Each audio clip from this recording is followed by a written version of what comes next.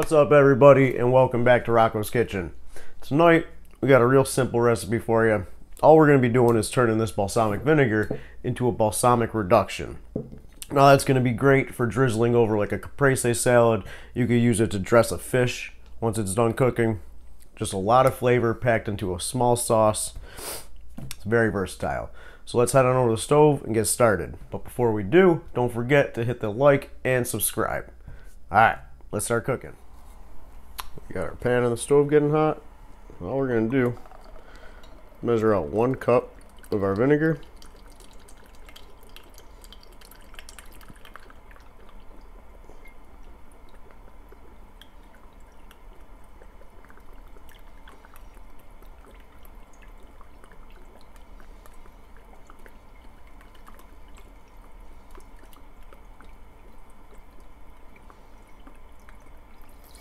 Just pour that in. I'm going to bring that to a boil and then turn it down to a simmer. Just stir it occasionally for about 15 minutes until it reduces by half or until it's as thick as you want it. And that's all there is to it.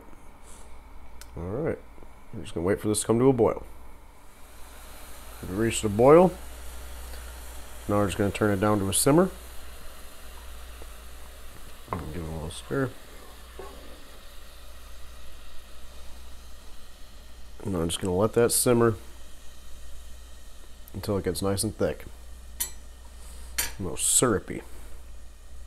We'll be right back. So, I think we're there. Let's test it. We're just going to take a spoon, dip it in.